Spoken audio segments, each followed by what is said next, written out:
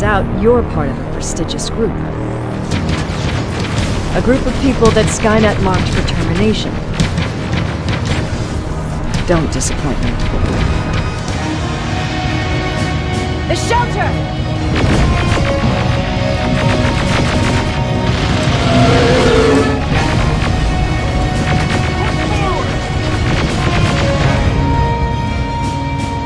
Seems like you've been appointed a special task, alongside Kyle Reese, no less.